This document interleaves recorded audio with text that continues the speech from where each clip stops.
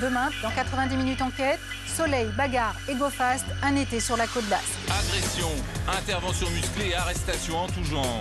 Il y a une fausse tranquillité, la délinquance elle évolue, il y a une recrudescence dans tous les domaines. Tout semble permis. Alcool, drogue et bagarre. L'été, les effectifs de police sont en alerte. Les équipes de la BAC traquent les petits dealers, mais aussi les gros trafiquants venus d'Espagne. Ils traversent la frontière en convoi ultra rapide et prennent tous les risques. À leur bord, des kilos de cannabis ou de cocaïne. Leur but, c'est de ne pas s'arrêter, de ne pas se faire attraper. Donc effectivement, euh, une vie humaine euh, ne représente que peu de choses pour eux. 90 minutes enquête, présentée par Carole Rousseau, demain 20h45 sur TMC.